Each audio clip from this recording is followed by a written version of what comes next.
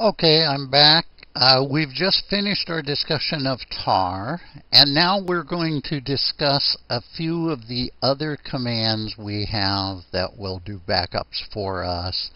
Uh, the first one is rsync. rsync is a very important command, um, and um, I'll show you a few things about rsync. rsync, in principle, just copies a file from one location to another, even, even from one machine to another across the internet or across the local area network.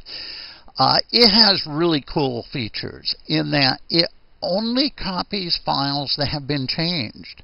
So it's like being able to keep kind of a mirror disk out of sync. It's not mirrored like disk mirroring like RAID, but it's it's slowly mirrored. You can keep a copy of your stuff, and then you can update that every now and then.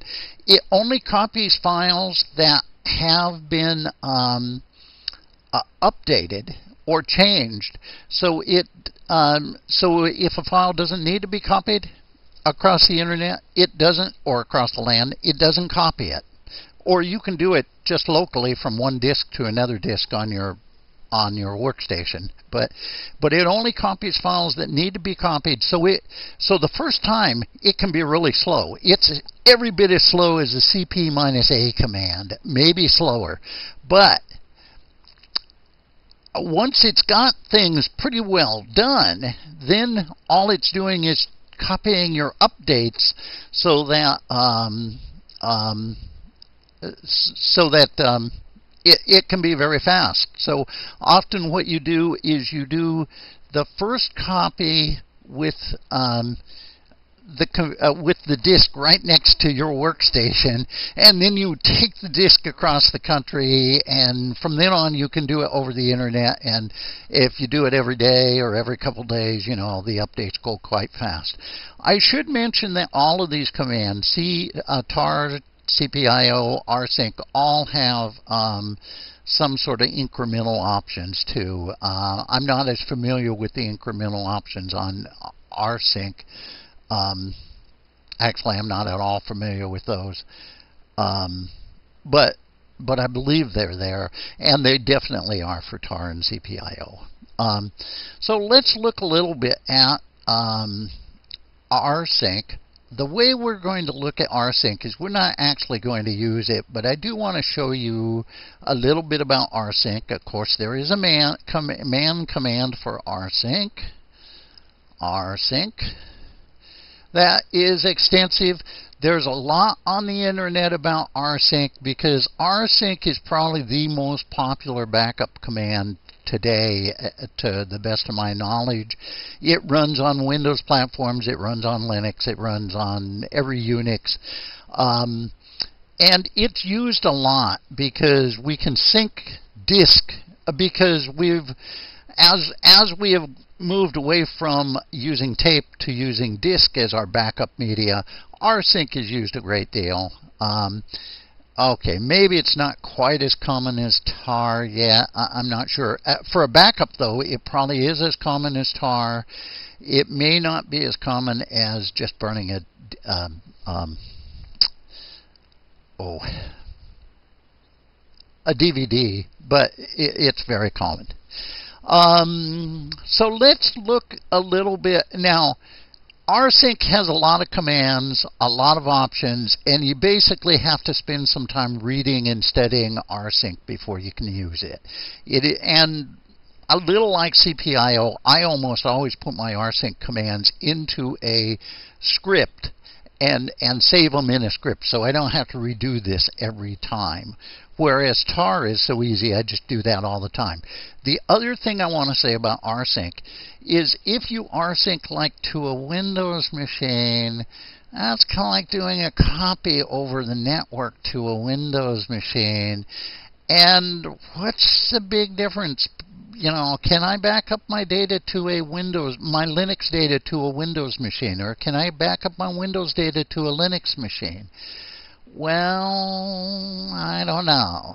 Um, the big difference is the Linux machine typically has Linux disk. Okay, it could have NTFS or a, a a Windows disk, but but but basically a Linux machine we expect it will have a Linux disk which means a Linux-like security model.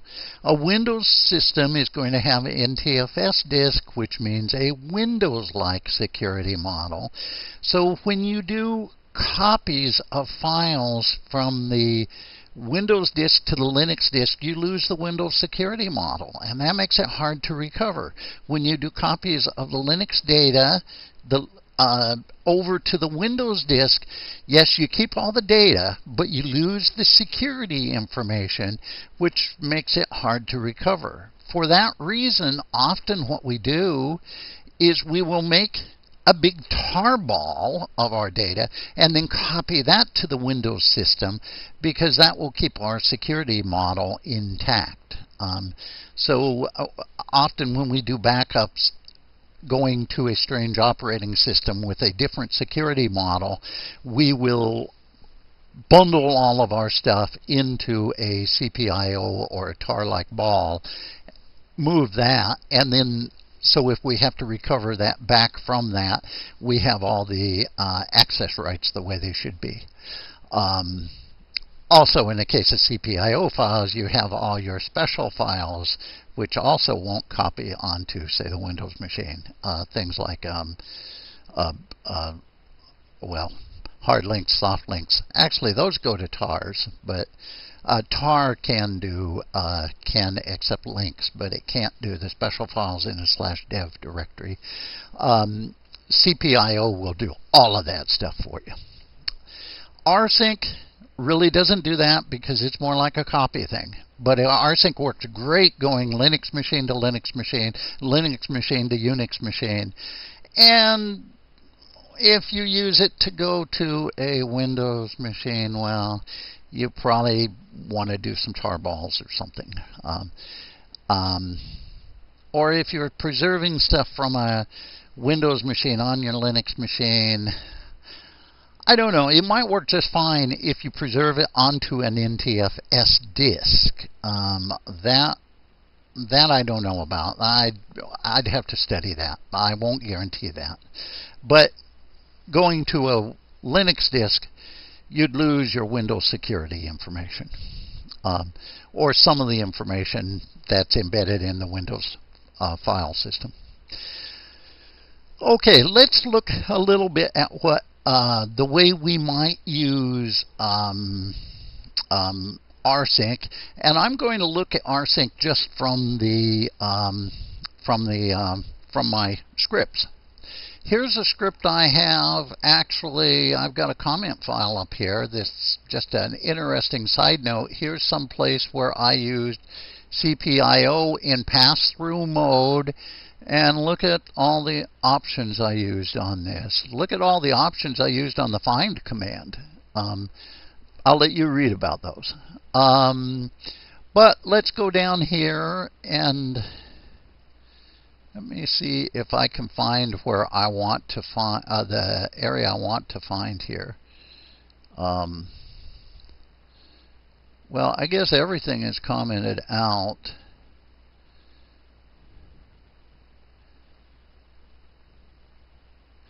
Well, we'll just look at this one command.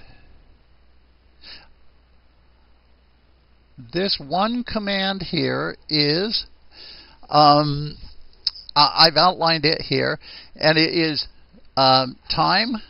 Oh, well, time just said, tells me how long the command takes it to run. It has nothing to do with the command itself. And it's rsync AVX. Now, what the A does is says make the arc uh, make the, uh, make this copy in archive mode. So save all the access rights, the date, time modified, everything, all the meta information about the file. Save that and transfer that. Uh, v says make a listing of what you're doing as you do it. X says, as I recall, it says don't go on to mounted file systems, just stick to the file system that I named. Um, uh, minus E space SSH allows me to use the SSH as the um, it does all the copying using um, uh, through an SS, SSH tunnel. So it uses all the SSH features. Um, if SSH does some compression, um, uh, some encryption, whatever SSH does. Uh, this is kind of a dumb option to use here because it just slows things down, and I'm going from um, one machine. Uh, I'm staying on the same machine just from one directory to another. So that was sort of a dumb thing to do, but it, it works. You don't really need that option at all. Even going with a remote machine, you don't need that option, although I would use it if I was going to a remote machine. Minus minus delete says that if my target um, a tree is um, it says that if if if my um, my source tree, if I delete a directory, then when I'm doing this copy and I find that there's a directory on the target that is missing from the source, I should delete that directory. So if I really want to keep these things in sync, I want to use minus minus delete. Minus minus force, I don't remember. I suspect that says don't ask a lot of questions as I do this. Um, slash u is actually I, on this system I have a directory called slash u. So that's the source directory. And the destination directory is slash backup disk slash u. And then that does the direct, that does the copy that updates my u for me. Okay.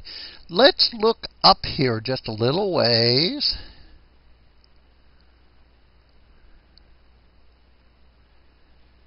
If I can. There we go.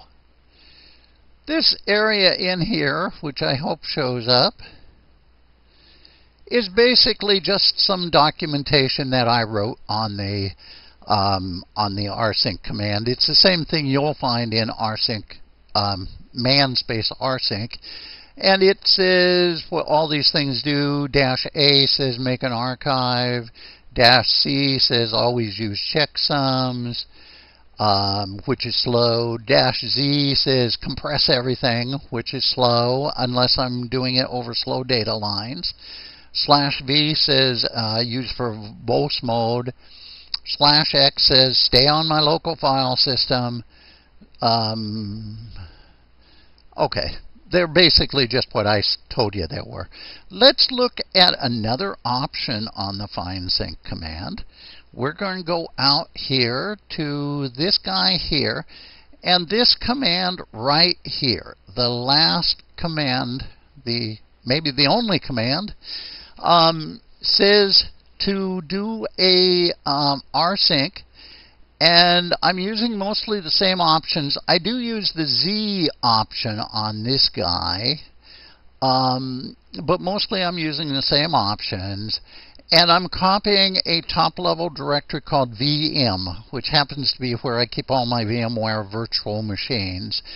And here, in this case, I am copying it to an IP number um, to a directory, well, so that copies it to another machine on my network actually, but it copies it to another machine. It puts it in the backup directory under SCO um, 302. So that makes a backup going across the network.